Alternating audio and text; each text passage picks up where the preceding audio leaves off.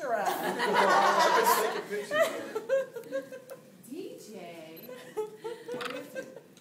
A condom. condom filled with stones. Oh. Oh. Oh, that's right. Better wipe my nose on that one.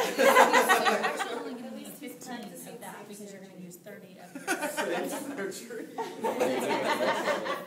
Grab one of these containers here and put the thirty of it, pour that out into the bucket because you only have one syringe. Let's see if I remember. Well, this is a mess up here. Just look at this mess. You probably uh, should have had a second scrub in here. Okay. Becca, Grab your scrub other. That'd be I don't have my scrubs on today. They're in my locker. I have them, but they're in my locker. You need fifteen Yeah, I've got at least. of that and fifteen of this. Okay. So, But this has to pour, so. Yeah.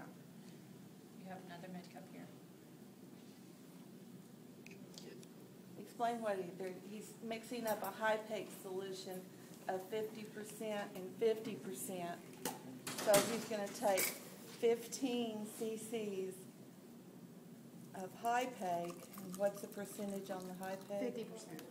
Fifty percent Hypaque, okay, he's gonna make, and then he's uh, gonna take fifteen You CCs 15 of of sodium chloride. Can I draw it up with, with or without the needle?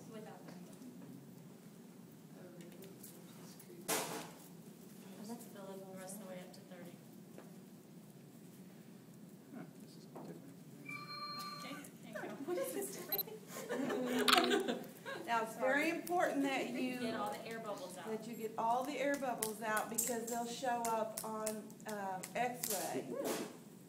They'll seem to be, they'll look like stones to the doctor on the x-ray if you have air bubbles. So all bubbles out of the syringe and then you also have to flush the actual catheter. So put it on there and then kind of flush it. Fluid out. Interesting. If I There you go. remember, if I remember, DJ, Yes.